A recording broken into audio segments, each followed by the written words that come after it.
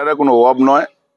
আপনারা হয়তো এর আগে শিলচরবাসী কোনোদিন দেখেনি যে কোনো গণতান্ত্রিক পদ্ধতিতে যখন বন্ধ ডাকা হয়, এইভাবে পুলিশ, যেভাবে মুখ্যমন্ত্রী উনার পুলিশকে এই প্রতিবাদকে কীভাবে মানে বন্ধ করা যায়, মানুষের আওয়াজ কীভাবে কণ্ঠরুদ্ধ করা যায়, যেভাবে পুলিশ গিয়ে সকাল ভোর তিনটা থেকে যেভাবে প্রত্যেকটা merchant association rickshaw driver association, এই অটো ড্রাইভার অ্যাসোসিয়েশন, প্রত্যেকে জোর জবস্তি যেভাবে রাস্তায় বেরোয়ার জন্য ওনারা ইয়ে করেছেন এবং আপনারা দেখবেন পঞ্চাশ মিটার পর পর যেভাবে পুলিশ পিকেট বসানো হয়েছে, আমাকে কংগ্রেস অফিস থেকে বের হতে দেওয়া হচ্ছে না।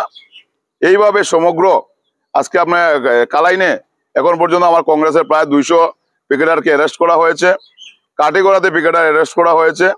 প্রত্যেকটা জায়গাতে পিকেটারকে সকাল সকালে অ্যারেস্ট করা হয়েছে। তারপর একবারে মানে বাজার, হাট, প্রত্যেকটা জায়গাতে পুলিশ দিয়ে জোর জবস্তিভাবে দোকান খোলানোর চেষ্টা করা হচ্ছে। এটা অত্যন্ত নিন্দনীয় ব্যাপার।